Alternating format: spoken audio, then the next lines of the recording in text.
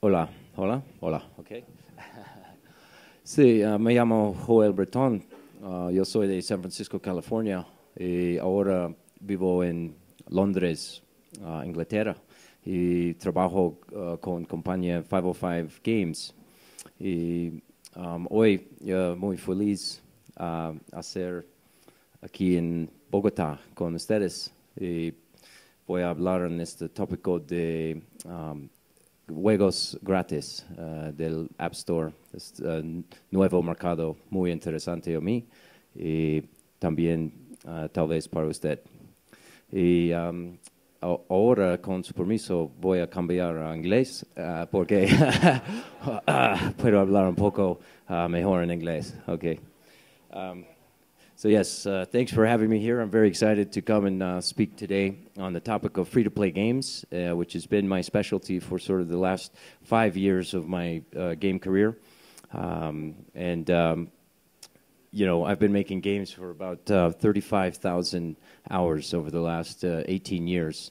So I've pretty much decided this is going to be my career, and I'll probably stick with it at this point. Um, I've worked at many of the sort of leading publishers in the uh, Western market. Uh, so Bethesda Softworks um, made a lot of good uh, games with those, with those, uh, with that company. Uh, Take Two Interactive and and Hudson are some of the companies that you know I've been fortunate enough to work for and you know to learn my craft and how to sort of develop games. And um, uh, there's a couple of the games I've worked on before, as was mentioned in the introduction. You know, I've worked on Unreal and Duke Nukem, Quake, uh, and Doom in, in the past. So that's very much more in the core gamer market on consoles and PCs. Uh, but probably, you know, um, over the last five years, I've been focused more on the online and mobile space. And as we know, the the predominant business model in those platforms has turned into the free to play and, and some of the different flavors of free gaming. Um, so, you know, currently I'm working at 505 Games, as I mentioned, and we're building out a, a nice portfolio of free uh, games across all platforms that you know the business model will work on. So that's the App Store and on um, on uh, the on the web, and of course in social networks um, such as Facebook. And uh, we have some really cool games already out there that you can check out if you get a chance. Um, we have a really good core game on the iPhone and iPad called Knight Storm. Uh, it's a beautiful uh, sort of knight jousting game, and so you get to build your knight up and you know level him up to where he has a high level of armor and and um, and weapons, and then go and play multiplayer battles against other knights um, online. And so it's a asynchronous battle mode. And uh, we've been running this as a live service on, on uh, the App Store uh, for about the last eight months. And uh, we have over a million and a half players uh, that have downloaded the app and, and are actively playing with us right now. So check that out if you get a chance. Okay. So here's what I'm going to talk about today. Um, I'm going to just talk about really quickly a recap of you know the free-to-play uh, history uh, in the Western markets primarily, since that's where I've been focused and you know know know the most about. Uh, and then I'm going to get into some actual keys to success that we've found, you know, for for attacking this market and uh, finding ways to you know make uh, make the the business model work, and especially focused around monetization. As you know, if if you don't uh, find ways to monetize uh, the players of your game, you're not going to be able to survive for very long. So it's obviously key to figure this out. Um, so I'm going to tell you some of the tricks that, that we've learned, and hopefully, you know, that may help you if you're interested in um, working in this market. And uh, then at the end, I'm just going to talk just a, a, little bit and touch on um, free-to-play publishing partnerships, which is what we're actively doing at 505 Games, and which we're very interested in talking to developers about uh, partnering with us. Um, so I'll close with that. And um, yeah, so I thought it'd be helpful to just start with some definitions. Uh, there's a lot of um, different, uh, actually, you know, words and definitions being used for free-to-play games. So, you know, these are my definitions. They're mostly uh, commonly used in the industry, but of course, there's different different people use different definitions. Um, but I thought I'd just let you know which ones um, that I'm focused on, at least in my current company. So we have uh, the, the top definition here is free to play. And this is defined by games that, you know, the first download that you get is free. Uh, so the player has very little friction. They don't have to pay anything. Uh, they download the game, and then the game is obviously monetized by upgrades, in-app purchases, uh, shortcuts, decorations, uh, better armor, bigger swords, uh, that sort of thing. So that's that's the free-to-play market, which is obviously booming in the App Store currently. Um, then there's the pay-to-play market, and um, this is the opposite of free-to-play. Then that means that the first download that you get is uh, is, a paid download, um, and it actually you know costs anywhere from 99 cents to even up to $20 essentially uh, for that for that download. And uh, actually there's very we're at, at 505 we're focusing on both of these first two models currently, and we're finding success in both. So a, a tip that I have for you is to um, uh, different games really are designed better for different models. And uh, through the through the talk today, I'll try to focus a little bit on you know if you have a game, deciding which of these four business models is going to find the most success. Uh, but uh, I can tell you that we just released a game called Terraria on the App Store last Thursday. Um, and uh, if you get a chance, download it. It's a $4.99 uh, download, and within 24 hours of releasing it, um, it had shot to the top position in, in uh, the U.S. iPhone and I- iPad store.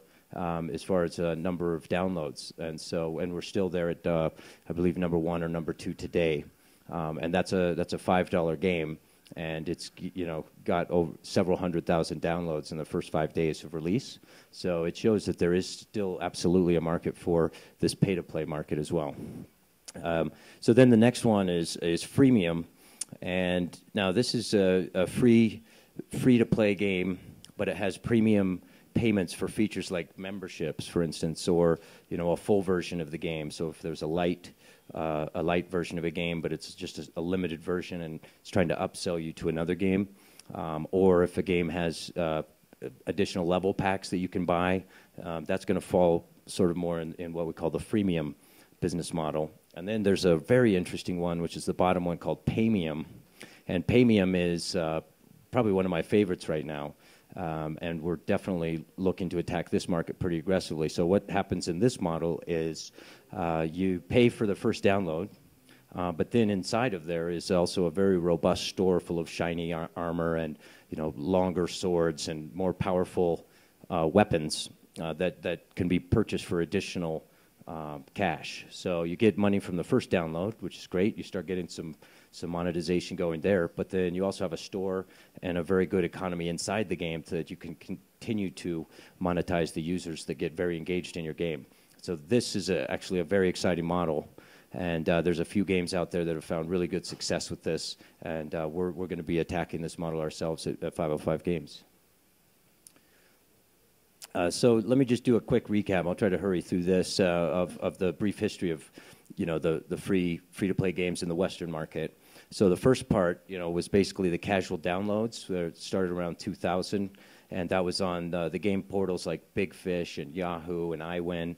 Um, and I was making some games in the, in those days like Ice Cream Tycoon and War Chess. And what, what those were is there was a free demo, and uh, we would get give those games out. It would be limited by either time or by levels that you could play.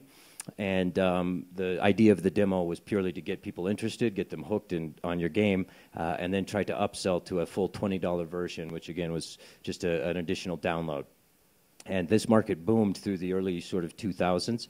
And uh, again, it's you know I, I put it into the uh, into the free to play market, um, even though it's more of a freemium because it was uh, a free game that was trying to upsell you to um, the monetized full version. And uh, so that's actually still going today, that model. There's still the game portals out there that are selling those games, but there's much less um, excitement or interest or volume in those markets today as you know the App Store and, and the new free-to-play models uh, emerged. Uh, so then RuneScape, there was the MMOs, mostly targeted around kids, and these were free-to-play MMOs, very deep games but that you could play for free, you could get sort of engaged, um, and then there was premium subscriptions of either five, ten dollars a month that you could pay if you really liked the game, and that would give you access to additional areas, uh, more features for customization, etc. And RuneScape Club Penguin and uh, Neopets were really the leaders in that in that market, and they're still going on today. Although again, this is kind of dying down a bit in terms of revenue and players. Um, and then Xbox Live Arcade appeared, and uh, of course, this was. Uh, um, the first console that made uh, basically all of the games had a free demo that came with it. And so this was again kind of going after the, the freemium model where they would give you away a, a, a, few levels of the game, maybe the first two or three levels, try to get you hooked and interested in the game, and then try to sell you the full version at anywhere from five to fifteen dollars. And that's still going very robustly today, that market. Um, and I expect that it'll carry over to the new consoles as well. Um, then there's the PC game market, uh, did the same thing. It's actually been going since sort of the late 90s, where the PC games would offer a demo and trying to upsell you to the full version of anywhere up to 50 to 60 dollars for the full version. Um, and then a very exciting thing happened on June 29th in 2007, uh, and that was the release of the iPhone. And uh, the smartphones, basically, from that day onward, um, have come to uh, really uh, make a lot of waves and a lot of noise in the overall global game market. Um, and so I look back at that day as a, as a very historic point. Um, those first apps that were in the App Store uh, when, the, uh, when the iPhone launched were 99 cents primarily. There was very few uh, free apps um, in, in, in sort of the free-to-play model that we're, that we're seeing today. Um, most of the apps were, were dominated by sort of 99 cent downloads and they did very well for quite a while, for a few years. That was the ecosphere. Um, and then the freemium uh, demo, you know, demo version market developed quickly thereafter, and um, you know, people would sell light versions to try to upsell to the full versions, and uh, that was sort of the next year of the App Store. Um, and at this same time, Facebook game uh, developers and publishers discovered compulsion loop driven gameplay um, and I'll get into that a little bit later, but essentially, this is where virtual goods, microtransactions, um, and free to play gaming came to online and social network gaming in a big, big way. And these companies really discovered the secret to success, which we'll again go into in a moment. Um, but uh, that's still a very active and, and busy market uh, today on the, on the social networks, on the web, and of course in the App Store. Um, and then shortly thereafter, the compulsion loop driven free to play model really took over the App Store. And this was around 2010, 2011. Uh, the first compulsion loop driven uh, virtual goods, free to play games appeared, and consumers just took, took to them because consumers really like free. Um, if you can give something for free and they can test it out and they can try it and see if they like it, um, the, it's, a, it's a good proposition for, uh, for, for the consumers. And so it soon came to dominate, and uh, within about a year, uh, most of the top grossing apps on the App Store, I think, uh, within a year, was about 70% of the top 100 grossing apps in the App Store were, were using the free to play business model. And uh, it's become such a, a, juggernaut, so to speak, today that um, actually there are, there are games um, that, are, that we are aware of the, the metrics on that uh, they have groups of sort of 50 players in, inside the game that have monetized uh, overall to a, a, about a million US dollars. Um, so that's a, if you could imagine that, that's a group of 50 players paying a developer uh, more than a million dollars to uh, to play their game. So it shows the power of the free-to-play model that there's no top end for how much players can spend. If you charge a set download fee of you know five dollars or twenty dollars, whatever it is, you, you're limiting the actual top amount of money that you can make in that game. However, if you're using the free-to-play model or the paymium model, um, you, you, there's no limit to how much that game can actually make. Uh, as long as players are engaged, as long as they love it, and as long as you offer them a, a good opportunity to, you know, enjoy and have fun in your game, you can make a ridiculous amount of money, which of course is what business is all about. Since we're in the um, for-profit sector of business. Um, so, so now, you know, we look at uh, where's where's the games business headed. We're obviously, um, you know, uh, at 505 Games, we're making games across all platforms, from PlayStation 3 to you know the Xbox 360, uh, and of course the App Store and Facebook and uh, other social networks. So we're all trying to figure out, okay, what's going to happen next? And I think you know for developers, that's a good thing to understand. The market's very dynamic; it's moving very quickly. So um, we all should uh, have our eye on the future to see what's going to happen. And you know, this is what what I think is going to happen. Of course, it's just my uh, personal insight. So take it or leave it if you you know if you think it's useful. Uh, but uh, I think that free to play games is is here to stay. um, I think that again, since the consumers get to try the game for free and then uh, only pay once they really like it. I think that the consumers will vote, and that, that means that this model is going to work very well for both consumers and developers. Um, I think also that the app economy itself is going to continue to dominate, um, and um, it'll start appearing. You know, it's on mobile now. Uh, it's going to be on your TV. Uh, actually, I think Samsung already has uh, App Store on, on their TVs, the, the, the, new TVs that are installed. PC, of course, Intel has an App Store. Microsoft has an App Store. Everybody has an App Store now. Um, and of course, on tablets. Um, also in cars, there's now screens being inserted, you know, in the front of uh, all the cars for GPS, navigation, et cetera. One in the back for the kids to watch DVDs. And of course, uh, apps will be available there uh, very very soon. Um, and on airplanes as well, if you you know you've got your own screen in front of you, uh, there's already apps available for for all of these screens. So you know. The only thing that's left is maybe a refrigerator, you know, to make an app for your refrigerator, and I think that's probably coming. So don't be surprised. Um, and I think you know tablets and smartphones are going to really continue to dominate handheld gaming. Uh, the younger generation, I don't know if you've ever tried to take an iPad away from a three-year-old. Um, but it's, uh, it's, it's not very easy. Like if they're sitting there playing a game and uh, you, you think it's time, time is up for them to stop playing, uh, they don't hand over the iPad very easily. So it's clear that uh, you know they're they're loving it and they're going to grow up with this their entire lives. So I think the handheld console manufacturers are uh, are in ser serious trouble for the future. I think probably we're looking at the last you know dedicated portable hand, uh, handheld console generation right now uh, because the, uh, the, the tablets and the mobile phones will basically just dominate this market now. Um, and I think that also free-to-play business model will uh, will now sort of start to cross over and invading into the core game space as well. Um, as uh, you know, the next generation. So you got your Xbox One and the PlayStation 4 uh, coming out shortly. And I think that uh, with the success of the free-to-play business model on all the other platforms, uh, I think that uh, for sure, you know, Microsoft and Sony will embrace this model as well. They've already started doing tests in the current generation. So on the Xbox 360, there's the Happy Wars game, which Microsoft is publishing themselves. Uh, Sony has several free-to-play games on the on the PlayStation 3. Uh, and then um, at E3, World of Tanks is announced to be coming to uh, to the console. So I think you know essentially the next year or two, we'll so, see significant growth on these consoles uh, with the free-to-play model. So that's exciting uh, if you're if you're understanding and uh, know how to make free-to-play games. Um, that means there's a lot of different uh, platforms that you're going to be able to put your games on. Thanks.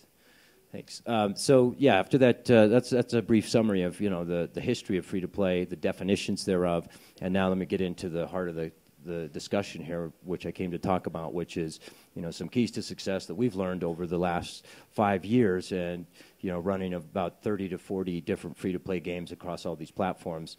You know, what's what's central to success, and what you need to keep focused on if you're attacking this um, this opportunity.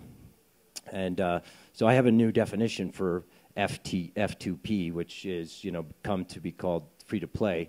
And I think as a developer, you need to actually change that from free to play to, to fun to play. Uh, because your game, at the very heart of it, it has to be fun, uh, or else it's not going to work. And uh, there's a lot of talk about metrics and, and tuning and uh, analytics and paying attention to user behavior, and absolutely that's all important. But I mean, I think you have to really just take a step back from all that when you're starting your, your game development process and uh, just really understand is this game fun? And as you're making it, as you're developing it, that has to be your core uh, principle that you're marching to is that making sure that you've got an incredibly fun game. And, you know, this is more important than ever before because when you used to be able to charge $50, $60 for a console game or a PC game, it was in a box on a store. The consumer would go and buy that game one time, make the purchase, and go home. If they liked it, great. They had fun. They would, you know, tell their friends. If they didn't, that was too bad. They already bought the game. They already gave the developer the money. And uh, so it didn't necessarily matter as much as it does today that that game is super, super fun. Uh, however, now that there's you know something like 500, 600,000, I've, I've, lost count, uh, games in the App Store, there's hundreds of thousands. Um, so consumers have really unlimited amount of choice uh, for what kind of games they want to play. And so if they, if you do get them to try your game, uh, it's got to be fun, and it has to stand out to that player and really speak to them as, wow, this is I'm having a good time here. I want to play it again. I'm going to, you know, come back to this game tomorrow. I'm going to play it some more. I'm going to tell my friends. And so this is really a, a, a critical uh, success factor is to make sure that you craft, like I say, uh, just really magical experiences. And um, if you've played some of these games, like I've played uh, Clash of Clans a lot, and and um, you know that that I think is obviously a, a, a monstrous success on the um, on on this tenant. It's fun, at least for me. So it speaks to me, and there's obviously you know several million other players out there that, that really think this game is fun, and uh, those those developers, my hat's off to them. They did a great job at this. And of course, uh, if people are having fun, they're going to tell their friends. And I think um, Clash of Clans is a good example of that. It spread very quickly through people's friends as they're saying, "Hey, you got to check this game out. Come and play and uh, join my clan, or you know, go and play, and I'll, I'll battle against you and steal all your gold." Uh, so, so again, you focus on fun first and foremost, and then you can get into the metrics and the analytics and all of these other uh, factors for success. Um, and uh, then a second second key thing I like to bring bring to mind today is uh, is to build uh, really sticky compulsion loops at the heart of your gameplay. And uh, this is something that a lot of developers, when they start out, and even myself, I can admit, I didn't understand this when I first started building out uh, free to free to play games. I thought, oh, you you know, it's virtual goods. So you make a store, put some cool you know swords in there, you put some good a nice horse uh, for the people to buy, and uh, and job done. That's it. Everything's going to be great. And it turns out that that's not the it's not the case. Um, it, it, could work uh, that you just build a store and people just start giving you all kinds of money, but the likelihood is that that's not going to work. What you need to do is to build what I call, you know, really sticky compulsion loops into the gameplay. And I'm going to give you an example of what a compulsion loop is. Um, but without, without having this, without having a compulsion loop in your game, and probably a set of compulsion loops that are all set at different times to come due, um, it's going to be very hard for you to retain users. And the key to success is to retain your users, have them come back to your game three, four, five, six times a day, you know, maybe 30, 40 times a week. If you've got players and, and a large uh, group of players coming back to your game 40 times a week, um, you're probably doing something right. And that means you probably got some very, very good compulsion loops inside your game. Um, so um, actually, let's go to the next slide. Uh, so here's what a compulsion loop looks like. Uh, here's several of them that I just you know sort of mocked out quickly. Um, so if you think of a kingdom building game or a farming game, you know these are the sort of two classic compulsion loops up here at the top. So uh, if you've got say a house, the house compulsion loop. And uh, so the first step in the compulsion loop is you build the house, right? Uh, then you got to decide where to place your house in your village. These are decisions you get to make as the as the player. So you're designing, you're being creative, you're you're placing your house in the right place that you know gives it your your personal uh, touch. And then the critical part of this compulsion loop is you have to wait time uh, for this for this timer to run out. And, uh, and then after time has expired, let's say it's 15 or 20 minutes for this wait time step, then you get to, as a player, come and collect your reward, which is your coins or your XP or both. All right, and then guess what? You do it again. You build another house, and you place that house, and then you wait some more time for that one, and then you come back and collect your coins and XP. And so what you're doing is you're, you know, completing these uh, steps over and over again. But the critical part is you have to wait some time uh, to, in order to collect your reward. And uh, uh, right, right here in this wait time step, this is where you can put your monetization. That's, the, that's one of the key places to put monetization is, hey, I don't want to wait time. I'd rather collect my reward now. I'm impatient. Uh, so for two virtual you know, gems or Smurf berries or whatever your you know premium currency is, you can skip this wait time step and get straight to the reward. And so I, I like to say that a lot of the free to play games are really selling impatience. And uh, for players that are impatient, uh, you need to offer them the opportunity to, uh, to buy this, this sort of time skip mechanism. And this is proven deadly, deadly effective uh, in the early Zynga, sort of Facebook, uh, Farmtown, Farmville, all of these kind of games. That was this. This was critical. This house uh, farm was the same thing, right? You build your farm, you plant your crops, you wait time, you come back and you harvest your crops, then you build another farm and you do it over again. And by, you know, uh, as your gameplay develops and you build out your farm in town, if you recall how these games work, you come back and you have like all these rewards to collect because each of these are different compulsion loops on different timers.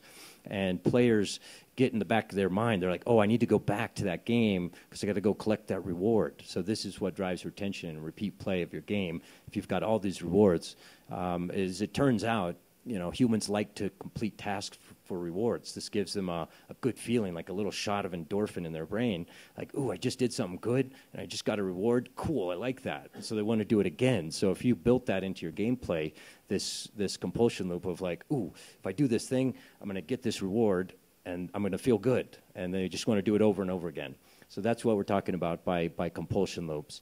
And most state of the art games, if you look in the App Store today at the, all the free games that are in the top 100 grossing, they, they don't have just one compulsion loop in them. The state of the art now is something like you know 40 or 50 compulsion loops all working together in this you know sort of matrix of timers and rewards and collections that drive the users to you know continue coming back to your game over and over again. And there's like I said, there's 40, 50 flavors of, the, of a compulsion loop. Um, and so this is absolutely critical to getting players to return to your game and to sort of have this timer in the back of their brain telling them, I need to get back to that game because I got to collect that reward. So I highly recommend if you're attacking this model uh, and working on free-to-play games business that uh, that you think about this and consider how to put in, you know, not just one but maybe 10, maybe 15 uh, very very compulsive uh, loops. Um, okay, and then another thing which you may have heard about is sort of what, what's called the, the minimum viable product.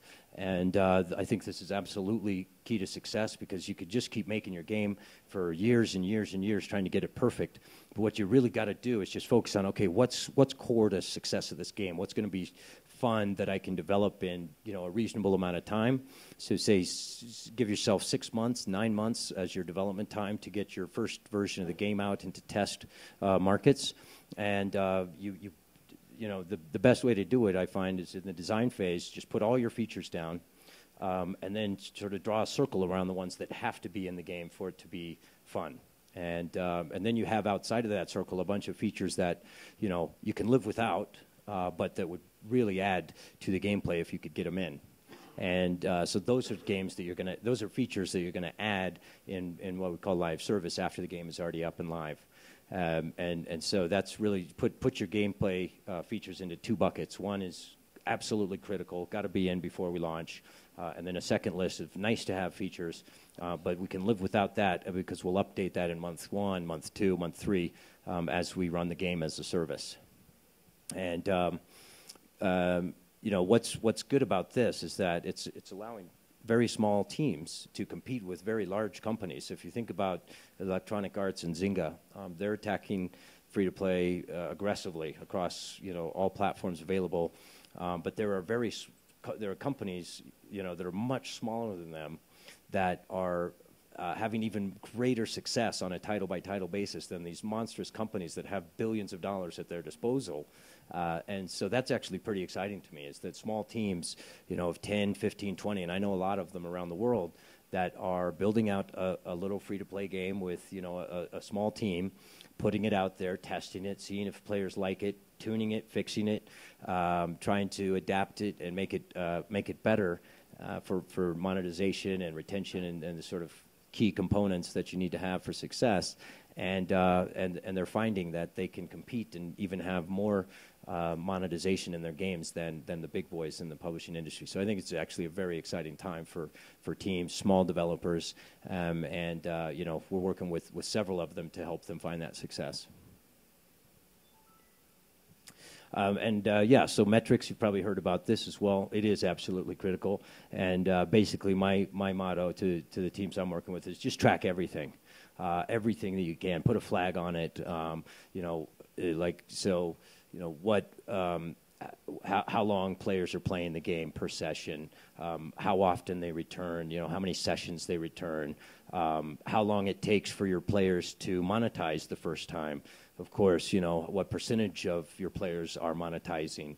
Um, player age, like you know, what's the average lifetime of, of your playing audience? So really, when you're when you're you know designing out your game, you gotta you gotta track everything, um, and then you know you can figure out as you're running the game what the key things are for for your game specifically, what what you need to be paying attention to, and that'll help you decide what features to add next. So it works in this really nice loop of uh, maybe what you thought when you launched was going to be an important feature, you find that uh, no one's actually using it.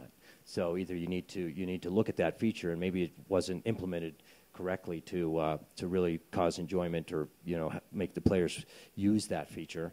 Um, but uh, you you know you but you may see something else that totally surprises you that oh uh, looks like players really want to chat uh, with each other, and so let's make that more robust. Let people chat, you know, just to their friends in, in private or you know out in public if you don't have that. So having you know strong metrics package implemented in your game lets you let the players um, tell you what what's important to them, and obviously that's what you want to uh, focus on.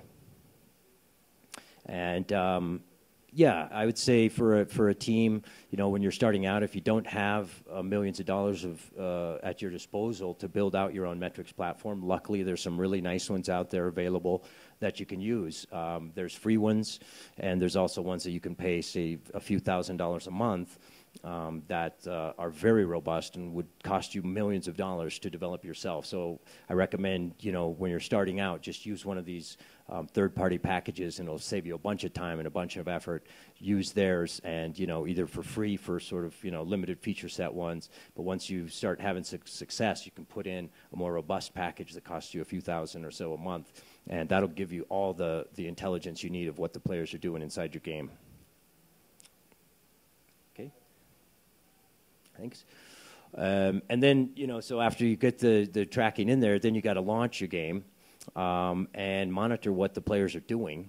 And uh, you do that through what we call the, the you know, KPI or the key performance indicators. And players will tell you what's working in the game and what's not. Um, so, you know, tutorial and first time user experience are usually the first thing you need to address once you launch the game um, because uh, usually you find that most of your players are dropping off sometime in, in your tutorial or soon thereafter.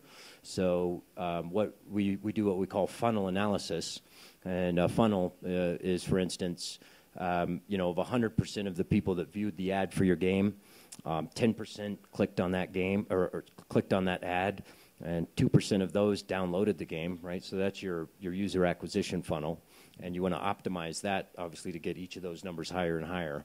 Um, and then the in-game funnel starts there, and that's of the you know say of the hundred percent that installed the game, seventy percent of those made it to the tutorial screen one. 50% made it to tutorial screen two, and this is important to have the tracking on each of these steps, right? So your tutorial, you need to have a flag on each uh, screen so that you can see where your drop off is. And say, you know, again, this is just a made up example, but let's say 40% completed the tutorial, well, that's not very good. So again, you're going to want to focus on this funnel and go and look at each of those screens. Well, let's see if I lost half of the players on screen one, I got a problem there. I need to figure out how to get 70, 80% finishing that screen. So that's going to be your, your focus right up front is optimize your tutorial screens. And uh, almost every game needs tutorial and first-time user experience help once it launches. And um, so, yeah, as I mentioned, you'll just want to focus on, on that. But, you know, hey, you may uh, launch and find out that, say, 80% of the players are getting through your tutorial. That'd be fantastic. If you get 80% of the players playing through, uh, then, then you go to the next phase. It's like how many players came back the next day and how many players came back on day three, how many players came back on day seven, right? So then, then it, it just expands out your, your funnel analysis. And obviously, you're always trying to optimize to get each of those numbers higher and higher, get the players deeper and deeper into your game. Um, and so, yeah, this is what I, I, I, like to call getting your dog to hunt. Uh, that's just a metaphor for um, getting your, your game to work, right? So, what you're looking for is, uh, is, is uh, these, these key performance indicators, and I look at it like, um, like a hunting dog, right? And uh, each of these uh, KPIs are just like another leg of, of the dog. Uh, so we've got you know retention, engagement, monetization, and virality. Those are the four legs of the dog. Um, and uh, if one of the legs is too short, uh, your dog's not going to be able to hunt, right? He's not going to be able to run fast enough to go uh, get the birds. And so you need to fix that leg, that, that key performance indicator, uh, before your dog can hunt. And if two legs are too short, like they're not meeting the targets, uh, your dog definitely isn't going to be able to hunt. Um, and if three or four legs are short, that means under target, um, then you're in real trouble uh, with this game as a free-to-play game, and you need to consider if this, you know, if this dog is ever going to hunt or if this game's ever going to work uh, with the free-to-play business model. And so I'll just quickly go through those those four KPI because again, these are the these are the main things you need to be focused on and looking at in your metrics once you launch. So there's retention, and that's how um, how often players return to your game. So that's looking at you first look at day one retention, how many people came back the first day after they installed your game. Then you want to look at day three retention, how many people are still with you after the third day after an install, and then day seven, and then you can go up to day 14 and day 28. Um, so that's usually the first month. You want to have timestamps, and obviously you're trying to get your audience deeper and deeper into that month because that's when you have a better chance to uh, to monetize these players. The second one is engagement. Uh, that's like how often a player is returning to your game, like in the same day, how long they're playing the game. Um, and so this is this is really about time spent in your game. So if they're spending you know 30, 40 minutes a day in your game, that's that's pretty good. Uh, and per session as well is, is the average session three minutes? Is it one minute? Uh, is it five minutes? Is it 20 minutes? So obviously you want those to be higher uh, as high as, as possible the engagement numbers. Uh, and then monetization is also key. If you don't have success here, of course you can't pay for the whole development, the funding of your studio, et cetera. Uh, so you've got to monetize. And uh, so what you're looking at is here is your daily average revenue per user, and that's you know if you take your total users for the day, and then the total money that you made for that day, and you divide those, you'll get your your average revenue per user for the day. And so obviously the DARPU is what you're going to be um, optimizing to get higher and higher to uh, again fund your your game studio and your development process. Um, and then the final leg is uh, virality, and that's like how many people invite their friends into the game, how many people share it on Facebook, um, you know, take a picture from within the game and and send it out to all their friends on their wall on Facebook or even just uh, tell people word of mouth. Word of mouth is also virality. So, um, all of these ways that people can share your game, you want to have those built into the game to make it very easy for people to share. And the more people that are able to uh, to find your game uh, for free uh, through through the viral features. So again, those are the four legs of my hunting dog here. And uh, if you're weak, uh, as far as if the numbers are low or small um, on either of those four legs, your game's going to struggle. And so that's what you need to focus on is that, that leg that's short or that two legs that are short. Uh, and in order to, you know, as I, as I say, get the dog to hunt or get your game to work uh, to where you can obviously turn it into a business and, uh, you know, recoup your investment and obviously hope to make profit. Um, so, yeah, this is one, you know, after you've got your game out there, uh, as I mentioned, it's just one simple equation for free to play success. I could have just put this up first and skipped the rest of the presentation.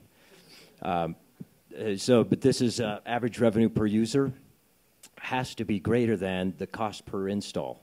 Uh, and if you can get that equation to work in your game, you, have got success. And this is what um, you know Zynga and um, Supercell and uh, King and all of these um, companies know is that if they can acquire a user, that's how much it costs them to get somebody to install the game for less than the average revenue for each user, then they can spend money and scale this game up as high as they want because they know that they're going to make more money on each user that they get to install the game than it will cost them to uh, acquire that user.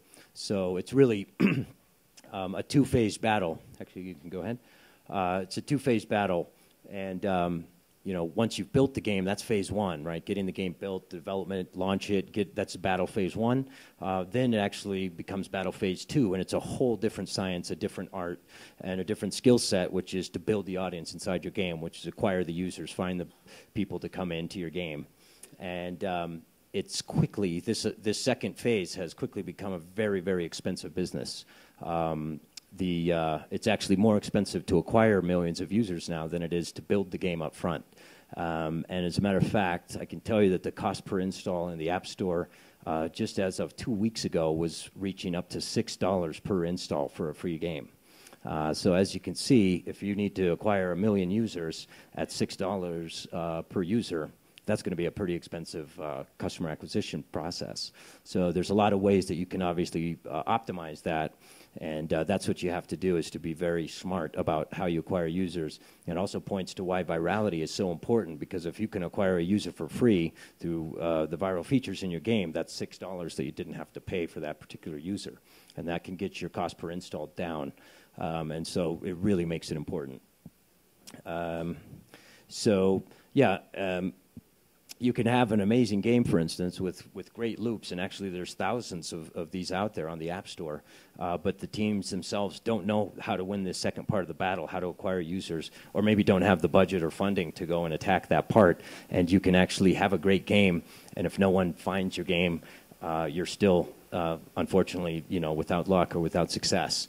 Uh, so, you know, developers have the opportunity to partner with um, uh, publishers that do have either networks of millions of players already available, um, and that of course reduces this this cost to the developers. They don't have to worry about that part. They can focus on making the fun, making the, the compulsion loops, having the game be super fun, um, and let the publisher focus on finding this audience, this second phase of the battle.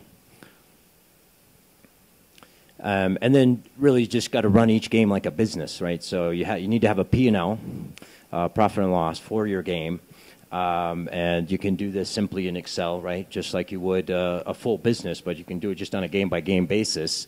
And uh, you can put into that, that profit and loss statement what your, your key targets need to be, like how much uh, audience you, you plan to have. Okay, well, I need 50,000 uh, daily users, and I need them to be monetizing at, you know, three cents on average per user.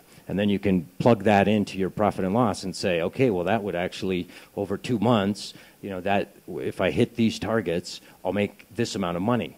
And I know that the game cost me, you know, this, uh, say, uh, 100,000 to make, but if I reach these performance targets, I'll have 200,000, right? So this is profitable, so I can actually go forward with this game. So you should build out at the very start. Actually, you should have put this slide up at the beginning, but anyway, there it is. Uh, you need to have a, a, profit and loss statement so you know when you're starting out in the game development process, like, is this a profitable business? And you can, um, there's a lot of research that you can do that show you, well, this type of game, let's say a strategy game on the iPad um, that's successful monetizes at, you know, 10 cents daily average revenue per user. So you can use other games to see and gauge, you know, what a target would be, what a good target for your um, for your game should be before you launch it. And uh, so we call that benchmarking. So you go look at other games out there, and there's a lot of online sites you can go to to see how much money games are making in the similar genre. So I recommend you do that. Look at other games out there to find out, you know, what's possible in this genre on that platform. Um, so um, yeah, and then you update your P&L. So once you go live, you, then you have the actual data. So you had your projections. You're like, well, if we can hit a 10 cent DARPU, 50,000 users, and we have those for three months, we'll be profitable. Uh, and then you launch the game, and then you can start looking at and seeing, well, let's see, how am I doing against that target? Like, am I hitting those target numbers? Um, is it possible for me to have success in this game? And you can also see which, which you need to focus on next to try to uh, optimize. Um, and um, you know, the the free to play games business is very tricky to get right. As I've sort of gone through these different things, it's not easy at all. You have to have a lot of elements come together in the right sort of element to uh, okay to uh, to make a success. And so um, let's go ahead and run to the next one. I think I'm just going to wrap up here.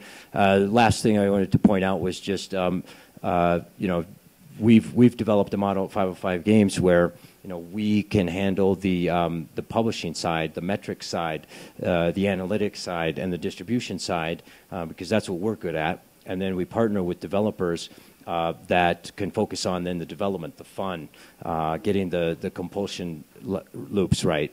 And uh, so that lets both the developer focus on what they're good at and then publishers to focus on what they're good at. So it's certainly worth looking at um, if you are looking to make a free-to-play game um, consider looking at some of the publishers that, that may be able to help you again in that in that second phase of the battle, so that you can focus on the first phase and try to find success that way. Uh, and with that, I'm going to go ahead and wrap it up. Thank you very much for your time. I hope I've been helpful, and uh, good luck.